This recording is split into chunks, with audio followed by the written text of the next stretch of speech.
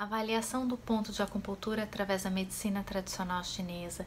Existem vários recursos que nós podemos utilizar, desde o mais eletrônico, que é uma caneta, que é sensível ao ponto de acupuntura, até o mais simples, que é com o toque. Né?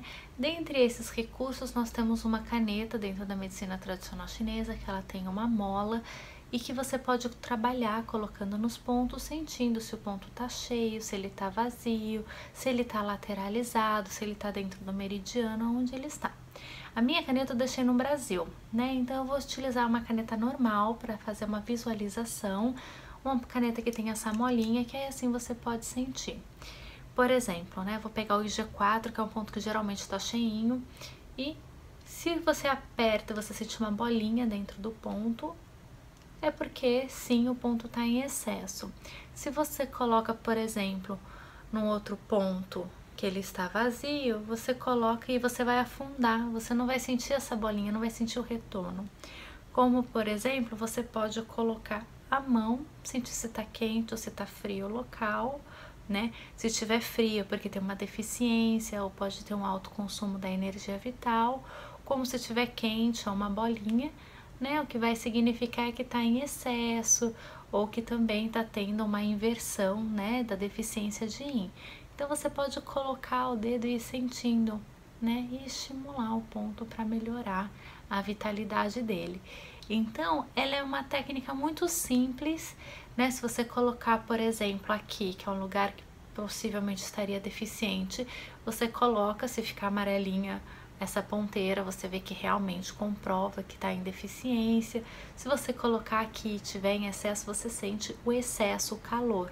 E aí provavelmente fica vermelho a ponteira desse aparelho eletrônico. Eu comprei ele na China da última vez, utilizei durante um tempo, mas eu acho que é tão gostoso você colocar a mão e sentindo e percebendo o ponto, vendo, por exemplo, ah, nesse ponto está mais deficiente, nesse ponto a gente tem mais energia né? E depois que a gente faz a acupuntura, colocar os dedos novamente para analisar, poxa, realmente dispersou essa energia patológica, preencheu esse ponto com uma energia positiva. Então a gente consegue ainda ter essa comparação, é muito bacana. E como eu falei, existem diversos recursos. Essa caneta com a molinha faz a mesma função, é muito legal.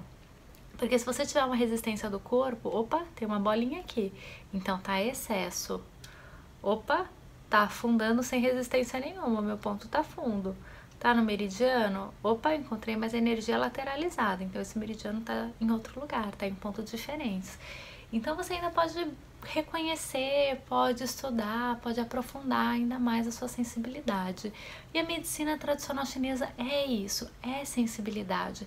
Agrega muito as técnicas, lógico, mais modernas, como eletroacupuntura, laser acupuntura, técnicas que trazem também né, uma resposta, abrange um número diferente de pessoas, né? Porque tem pessoas que têm mais facilidade com agulhas, outras não. Tem tratamentos que a gente precisa da eletroterapia, pode estimular com raio Hua. Então, entender que a sensibilidade do terapeuta e existem recursos para nós tratarmos o paciente também dá bastante flexibilidade para nós escolhermos e aperfeiçoar, não é verdade? Agradeço muito, sou Mayra Cordeiro. Vocês podem acompanhar a página kaili.com.br. Espero sempre compartilhar vida, saúde e consciência. Muita gratidão.